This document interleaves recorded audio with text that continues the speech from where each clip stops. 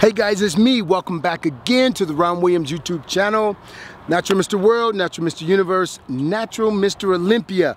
Listen, I am going to change the flow today and I'm going to talk about some things that are really, really personal. I'm going to open my heart up to you guys and, and um, I'm going to tell you some things that, uh, that I hope will help you. I'm going to talk about coming from the ghetto to actually becoming a champion and how you do that and how I was able to do that. Um, take a walk with me. First of all, I want to say this, is that I didn't understand the difference between being a champion and winning a championship. And there's a huge difference.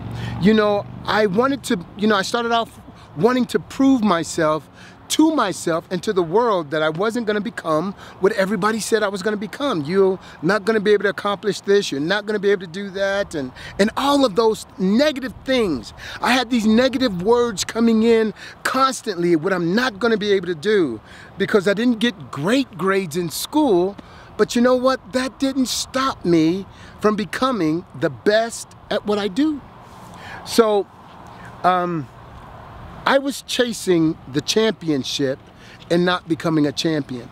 See, becoming a champion is different than winning a championship. And what I mean by that is if you win a championship, you've won a contest, you've won some money, you've won that accolade, and you'll always have that title, but what does it do for you? See, there are some principles that are that are um, that are used to win a championship, and you can use those very same principles in your life and become a champion. Not just winning a championship, but we know people who have won championships, but they're um, they're not doing very well in other areas of their lives.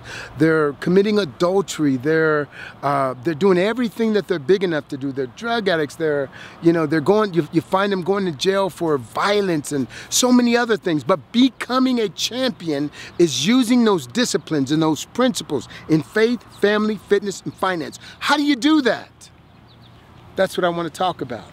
Coming from the ghetto, having a ghetto mentality, having the mentality that I had to physically fight in order to survive, uh, coming from that mentality and not realizing that something inside of me had to change because that was all I knew.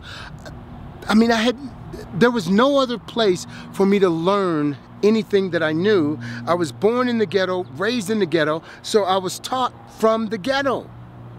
And you don't know what you don't know.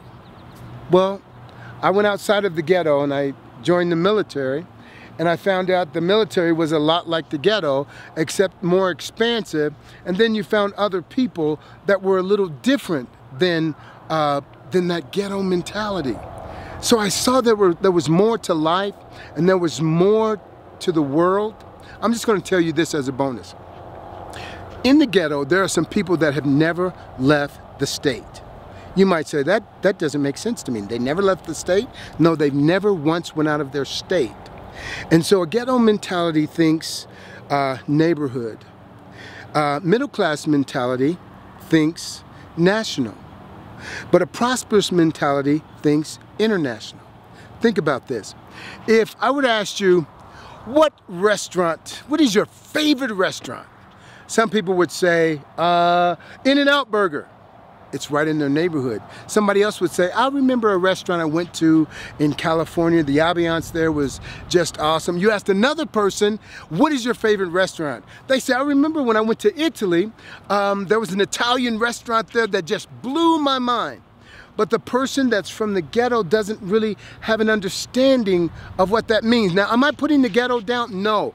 But what I am saying is that we don't have to stay there. We don't have to stay in that mentality.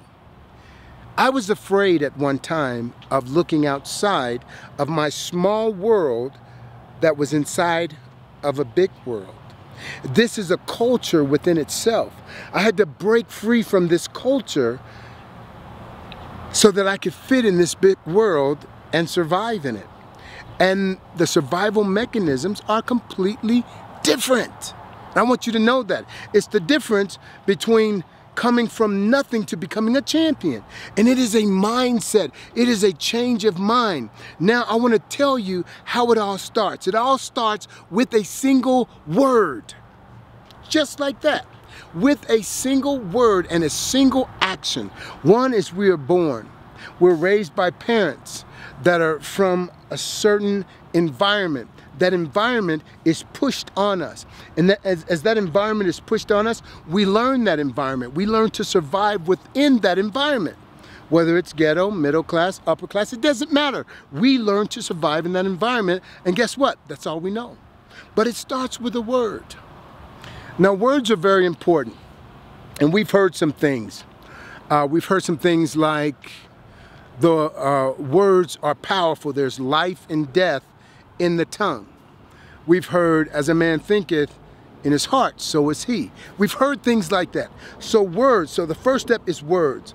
And with words, you put a, a group of words together, though that group of words creates a thought, and then that thought turns into um, a feeling. That feeling turns into an emotion. That emotion turns into passion. Once you've got a passion, you start to develop actions. Now, wherever you are from, whatever, whatever environment you are from, you become passionate in that environment. Then you start to create what we called actions. And those actions turn into habits. Those habits turn into a fixed cycle. This is the hard part, people, is when you develop a fixed cycle, it's like having a canal and water is running through that canal, it's already got a track to run on. It can't go where it wants to go. It has to stay in that canal. It is fixed. And in order for that canal to turn and go the other direction, that is unnatural. So if you're raised in an environment to completely change the direction you're going in, it is unnatural. You have to want to make that change. You have to make an about faith intentionally and go the opposite direction. If you want to be better, you've got to do better. You've got to think better. You've got to raise your expectations of who you are. You've got to develop that champion mentality. And that's what I decided one day. I made my mind up that I was going to be strong in faith, family, fitness, and finances. And whatever that took, whatever I didn't know, I was going to learn and I was going to be different. Was it hard? If I told you it was easy, I wouldn't be telling you the truth. If I told you that training for Mr. Universe was easy, I wouldn't be telling you the truth, people. And it's not because I am so smart, because that is not what I think. And it's not because I have the best body or the best genetics in the world. I don't think that to be true either. But I do think that willpower and hard work and using champion principles can overcome gifting. It can overcome talent. Having a mindset of never quitting, never giving up, not listening to those words of negativity and not allowing them to defeat me, but to rise above them and do what other people are not willing to do. When I made my mind up that I was going to be Mr. Universe, I made my mind up and then my mind passed being made up. Not only did I make my mind up to be Mr. Universe, but before I ever stepped on that stage, I became Mr. Universe.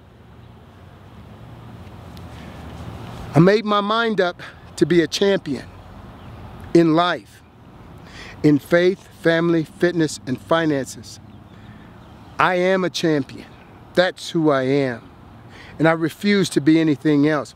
Now, there are times when life tries to tell me different, but I want you to do what I do. When life tries to knock you down and tell you that you're not, you've got to say, I am a champion. I am a champion. Champion is who I am. And that champ, whatever it is that I desire, I'm going to go out in the street and grab it and drag it in, kicking and screaming. Why? Because it belongs to me. It is mine. It is yours. And that's the way I do life, people. As a champion, that is the way I do life. You think I'm a nice guy, and I am. But when it comes to being a champion, I am dogmatic. I'll fight over that. I'll fight over being a champion. You say, Ron is so nice. I am, because that's part of being a champion too. But there's a time and a place for everything. Now it's time for me to be a nice guy. Listen, guys, I hope you like this video. I hope it inspires you. I hope it encourages you. I hope it makes you say, I refuse not to be a champion. If Ron did it, coming from his very, very tremendous, humble beginnings, if he did it, I can do it. I can do it. God bless you guys. Give me a thumbs up. Until next time. What you, what you want, what you, what you want.